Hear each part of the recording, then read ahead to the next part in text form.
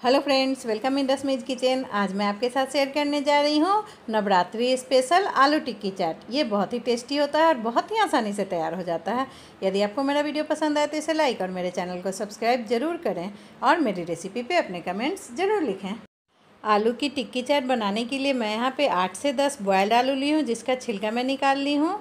दो से तीन बड़े चम्मच फेटी हुई दही ली हूँ, दो से तीन बड़ा चम्मच चावल का आटा ली हूँ, दो से तीन बड़े चम्मच बारीक कटी हुई हरी धनिया की पत्ती ली हूँ, एक छोटा चम्मच रोस्टेड जीरा का पाउडर, एक छोटा चम्मच चिली फ्लेक्स मैं ली हूँ, आप चाहें तो लाल मिर्च का पाउडर यूज़ कर सकते हैं। व्रत रेसिपी है, इसलिए मैं यहाँ पर सिंधा नमक यूज़ कर रही हूँ, खट्टी और मीठी इमली की चटनी मैं ली हूँ, थोड़ी सी हरी धनिया की पत्ती की चटनी मैं ली हूँ, आधा इंच अदरक बारीक कटा हुआ दो से तीन बड़ा चम्मच बारीक कटा हुआ खीरा दो से तीन बड़े चम्मच अनार के दाने, दो हरी मिर्च बारीक कटी हुई ली हूँ मैं, थोड़ी सी काली मिर्च जिसे मैं क्रश करके डालूँगी, मैं सभी इंग्रेडिएंट्स और उसका मेज़रमेंट डिस्क्रिप्शन में डाल दी हूँ। और चार से पाँच बड़े चम्मच रिफाइंड ऑयल मैं यूज़ करूँगी। टिक्की चाट बनाने के लिए सबसे पहले मैं बॉयल आलू को कद्दूकस कर लूँगी। आलू को कद्दूकस कर के टिक्की बनाएँगे तो टिक्की एकदम चिकना बनेगा। आप चाहें तो इसे मैश कर सकते हैं, पर कद्दूकस करके टिक्की बनाएँगे तो ज़्यादा अच्छा बनेगा।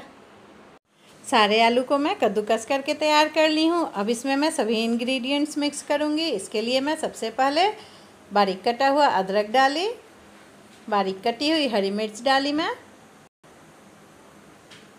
हरा धनिया का पत्ता मैं डाली और अब इसमें मैं नमक डाल दूँगी। टेस्ट के अनुसार व्रत स्पेशल रेसिपी है, इसलिए मैं इसमें सेंधा नमक यूज़ की हूँ। और काली मिर्च मैं क्रश करके डाल दूँगी। और सभी इंग्रेडिएंट्स को मैं अच्छे से मिक्स करूँगी। आलू में सभी इंग्रेडिएंट्स अच्छे से मिक्स करने के बाद मैं इसे बाइंड करने के लिए चावल का आटा इसमें डालूँगी। दो से ढाई बड़े चम्मच चावल के आटा को मैं डाल ली और मैं इसका एक अच्छा सा डो बनाकर तैयार कर लूँगी। चावल का आटा मिलाकर आलू का मैं एक अच्छा सा डो बनाकर तैयार कर ली हूँ। अब मैं हाथों में थोड़ा सा रिफाइंड ऑयल डालकर हाथ को चिकना कर लूँगी और टिक्की बनाना स्टार्ट करूँगी। ये देखिए, टिक्की चाट मैं बना रही हूँ, इसलिए टिक्की थोड़ा बड़ा बना रही हूँ मैं। और गोल शेप में दी हूँ। आप जिस भी शेप में चाहें टिक्की को बना सकते हैं। ये देखिए, परफेक्ट टिक्की बनकर तैयार है। इसी तरह मैं सारे टिक्की को बनाकर तैयार कर लूँगी।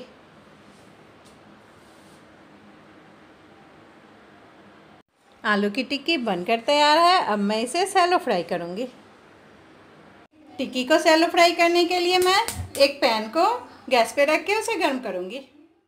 पैन गर्म हो गया है, अब इसमें मैं दो से तीन बड़े चम्मच रिफाइंड ऑयल डालकर इसे गर्म करूँगी।